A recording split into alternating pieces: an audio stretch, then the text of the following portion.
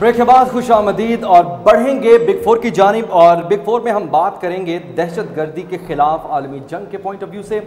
اس وقت اگر بات کریں کہ پوری دنیا کا جو سب سے بڑا سبجیکٹ ہے، جس پر بات ہو رہی ہے، جس پر حکمت عملی تیار ہو رہی ہے، جس کے پر الائنس بن رہے ہیں، جس پر سوچ و بچار ہو رہی ہے، وہ ہے دہشت گردی۔ کہ دہشت گردی پر قابو کیسے پایا جائے؟ اور یہی وجہ ہے کہ دہشت گردی کے نام پر سعودی عرب نے انتالیس پہلے چونتیس ممالک کا اتحاد کا اعلان کیا، لیکن اب اس میں ممالک کی تعداد بڑھ چکی ہے، تو انتالیس ممالک کا ایک اتحاد قائم کیا گیا ہے۔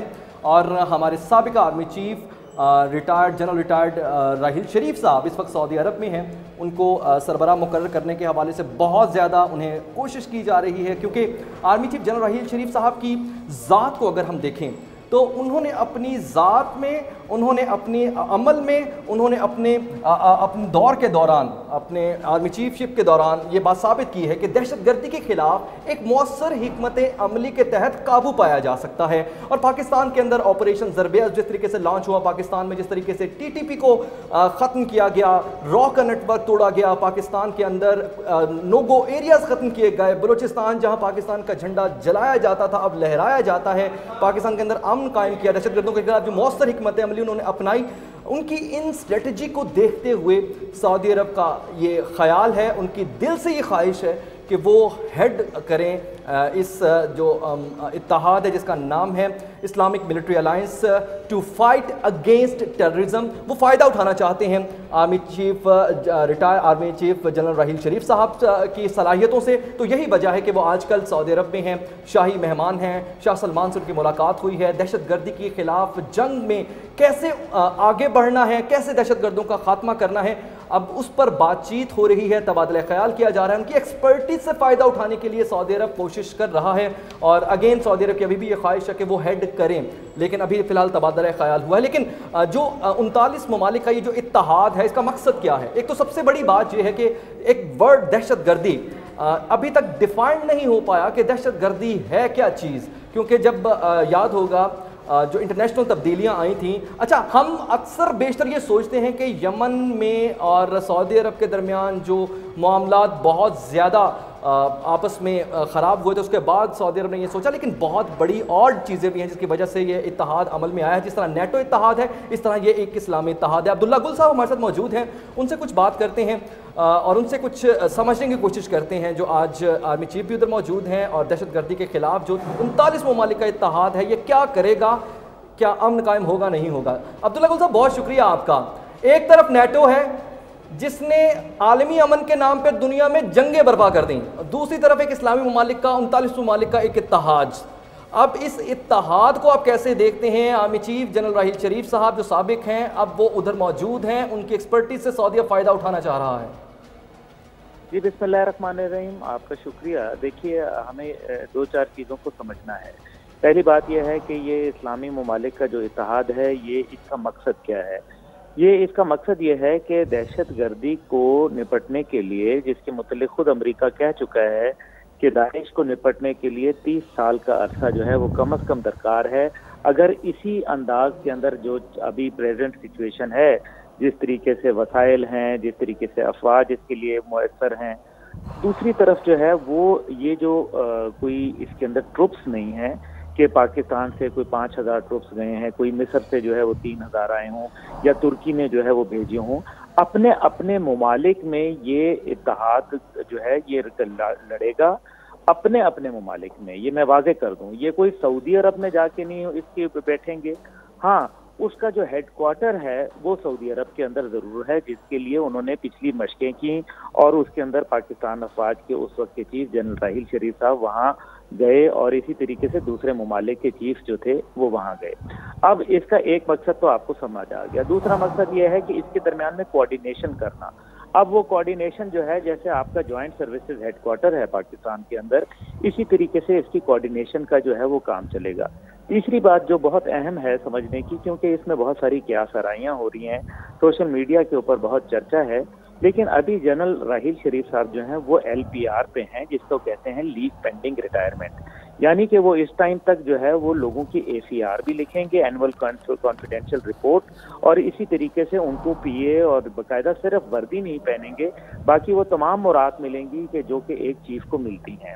اسی طریقے سے جو ان کے اوپر دو سال کسی بھی جگہ پہ جانے کی اور سیاست میں حصہ لینے کی جو ہے وہ ایک پابندی بھی ہے۔ حکومت کو یہ دیکھنا ہے، یہ تو حکومت کا پروگیٹو ہے۔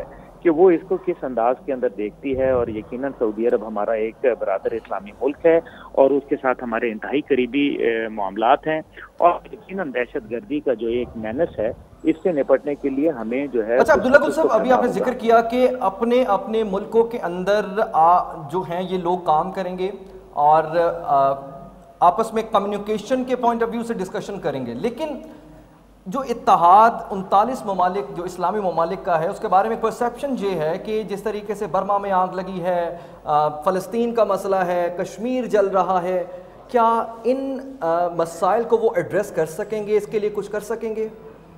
جی فی الحال تک تو جو میری اطلاعات ہیں اور جو میں نے پڑھا ہے، اس کے متعلق ایسا کچھ بھی نہیں ہے۔ اس کے اندر صرف جو ہے وہ مشرق وسطی کی صورتحال جو ہے، اس کے اندر فلسطین تک کا ذکر نہیں کیا گیا۔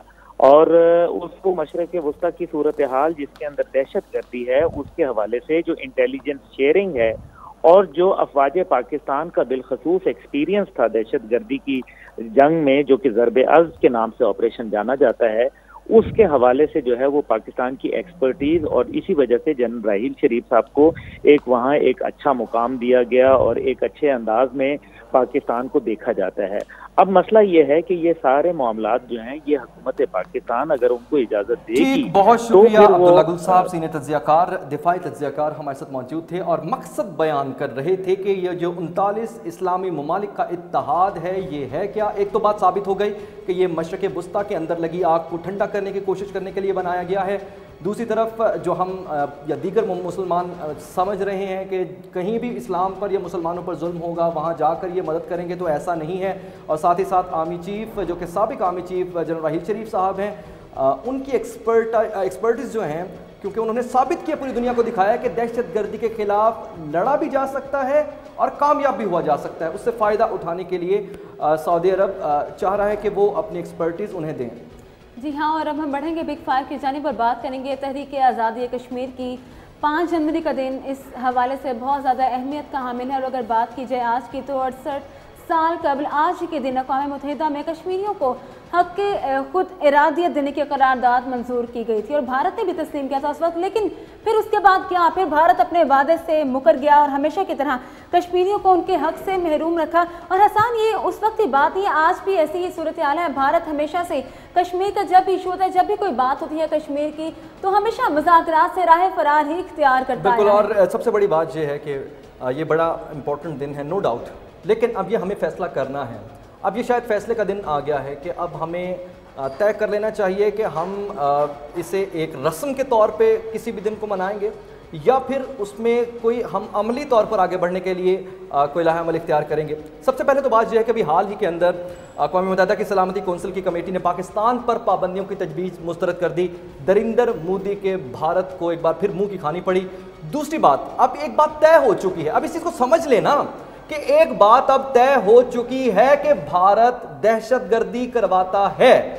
بھارت دہشت گردی کا محور و مرکز ہے۔ اب اس بات پر کیا کسی کو کوئی شک نہیں کہ بدترین ریاستی دہشت گردی نہ صرف مظالم کروائے جا رہے ہیں کشمیر کے اندر، بلکہ پورے خطے کے امن کو داؤ پر لگایا ہوا ہے بھارت نے۔ اب یہ معاملہ چھپے نہیں، لیکن ہمیں اب کرنا کیا ہے۔ اب وزیر اعظم پاکستان نے جو اعلیٰ سطح کا اجلاس کیا، جس میں خارجہ امور اور انٹرنیشنل افیئر کا ذکر کیا فورن پالیسیز کا ذکر کیا، تو رائٹ ناؤ ہمیں ضرورت ہے کہ ہم ریوزٹ کریں اپنی کشمیر کی پالیسیز کو۔ ہمیں ریسیپروسٹی کی طرف جانا پڑے گا۔ ہمیں تھوڑی سی اگریسو اپروچ اپنانی پڑے گی۔ ہمیں دنیا کو بتانا پڑے گا۔ اور واحد چیز جو ہمیشہ میں سوچتا ہوں کہ ہمیں رائٹ نو کامیاب ہونا ہے تو اقوام متحدہ میں جس طریقے سے ماضی میں بھارت اپنا مقدمہ لے کے گیا تھا، کشمیر کے شعبے، جب اسے اپنی شکست یقینی نظر آ رہی تھی، آج بھی پاکستان کو کیسی طریقہ کار اختیار کرنا چاہیے کہ بھارت جائے، اس کے بعد اقوام متحدہ ہم سے رابطہ کرے اور پھر ہم کشمیر کے ایشو کو ہمیشہ کے لیے ریزالو کر دیں۔ جی ہاں بگ سکس کی جانب بڑھیں گے، لیکن اس سے پہلے یہاں لیں گے ایک بریک